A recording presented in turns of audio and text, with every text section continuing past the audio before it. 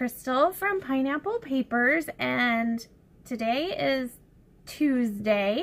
So I am going to use the Take 5 Tuesday on the Scrapbook Issues um, blog.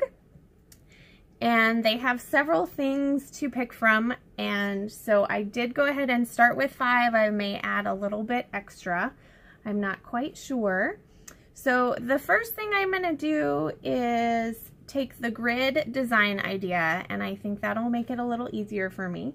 I'm going to use stitching and I'll use some real stitching, not some faux stitching. And then um, the next one is pattern paper, which I don't really know if I could do a scrapbook layout without pattern paper, but I'm going to use this Shimelle Star Shine um, 6x6 paper pad. And then the next one is enamel dots. So I've pulled two sets of enamel dots, this set from Recollections and this from Eyelet, Outlet, and Brad's. And then the last thing that I'm for sure going to use is paint. And I bought these Dina Wakley Media Heavy Body Acrylic Paints in Tangerine and Turquoise and I've never actually used them. So I hope they're still okay. They're from Hobby Lobby. They were on sale. And I do have the ephemera pack um, from Shimelle, so I'm to use those.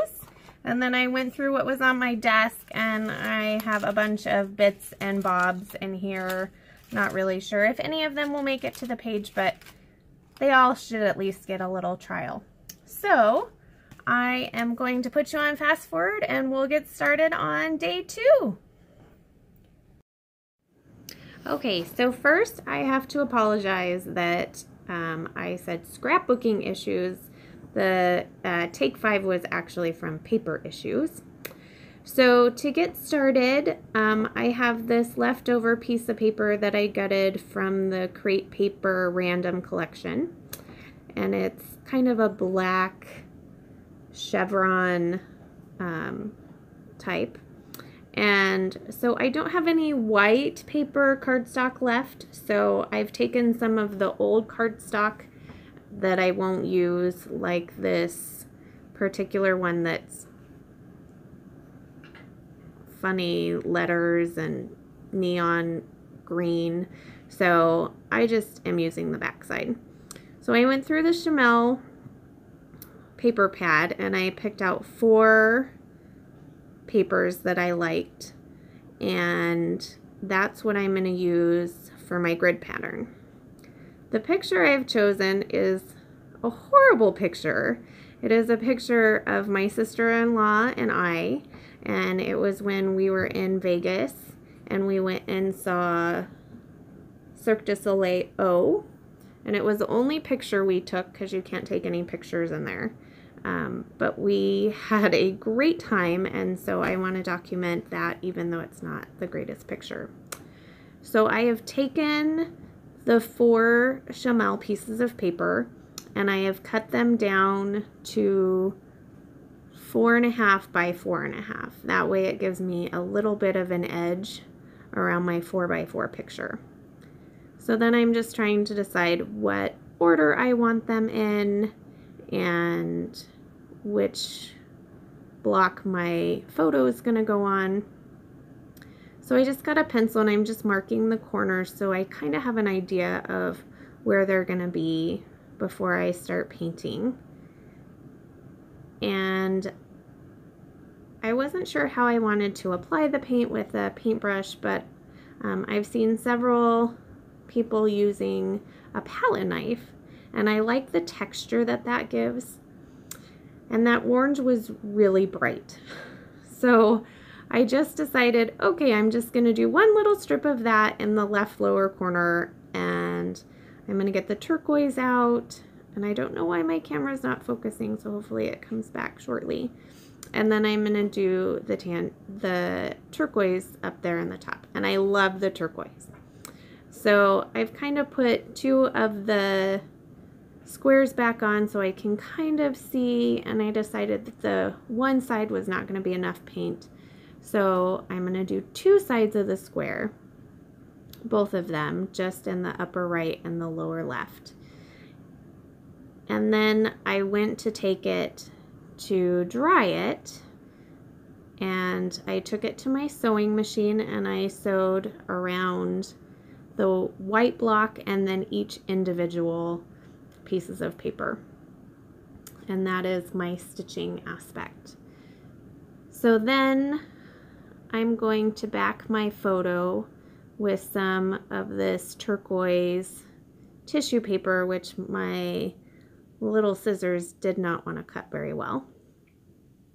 And my focusing looks like it's finally getting better, so I really apologize for that. I love this floral. I think that's probably my favorite one in the entire collection.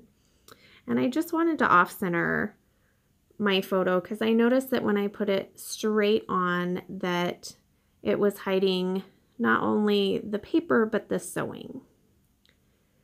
So then I couldn't remember where I had these squares, to be honest. So I just knew that I had the flower at the top and then the stripe um, on the bottom left. So I popped both of the painted squares up with foam adhesive and then the other two I just adhered directly to the background. I did use my T square ruler to line them up. Normally I don't mind things, but I th think that the grid pattern really needs to look a little equal. So this was a great invention. I just got one of these from my best friend Amber because I introduced her to YouTube videos and she saw everybody was using them and I said, don't they look wonderful? And then poof, the next time I saw her, we both had one. So thank you to Amber for that.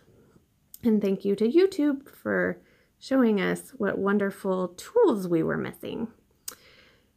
So I couldn't just let the squares be the squares. So I had these extra cutoffs from when I did the original cut and I'm just putting them behind to give them a little bit of an extra layer. Now the embellishing, I did have to turn the camera off for a while because I knew I had the tickets from the show somewhere. So I had to go rummage through my closet to see if I can find them. I was very lucky to find one of them and a receipt, but it still kind of looks like I have both tickets. So then I had pulled out all this ephemera and I was having a really hard time trying to figure out where everything was going. So it doesn't really look like it because they turned the camera off and otherwise this process video would have been probably a half an hour to 45 minutes long sped up because I just couldn't decide how to decorate these squares. I really felt like the the grid design was going to be much easier to do, but it wasn't. so I did get a chance to use quite a bit of ephemera, which I love to do.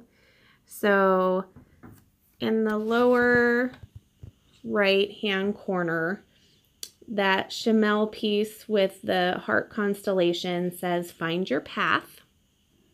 And then that little um, acetate piece says imagine. And that is from the same. That adventure speech bubble was the last piece I had um, on a sticker sheet from somewhere, but I, I had already cut it apart, so I'm not sure exactly where it was. The flower, I think, is from a Maggie Holmes collection. The, the gold piece, I'm not sure where that one came from. And then by the picture, I added um, a ticket that says one-way ticket I added another acetate piece up there that's got a star with kind of a sunburst pattern and then just another star. And then in the left upper, that wood veneer piece is a Heidi Swapp piece and it says you are here. The make magic happen came from the Shimelle piece and that flower, I don't know where that came from. And then the bottom left has Let's Go on an Adventure from Shimelle. And then that big, big gem piece. I'm not sure where that one's from either. So then I just remembered at the very end, oh, I have to get my enamel dots on there because that was one of the five things that I had chose. So I made sure that that happened. And here are some close-ups and I'll have some picture close-ups as well at the end. So I hope you enjoyed this. I'm really enjoying doing one video a day and I hope that you continue to enjoy your scrappy week and I will see you tomorrow with another process video. I want you to remember to wear your crown and I'll see you tomorrow.